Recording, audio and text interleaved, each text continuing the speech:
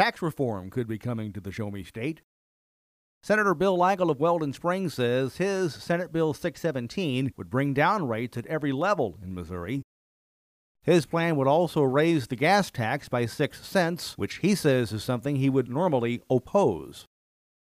What's different about this plan is I've always said that we could adjust any individual tax as long as it was part of an overall broader tax reform measure. The idea is a mirror of what has happened federally. But Senator Jill Schupp of Creve Coeur says she is concerned with cutting taxes. But in terms of those taxes, it's going to be interesting to see what happens at the federal level. And I think that some of what goes on here, people are going to take a cue from what happens at the federal level.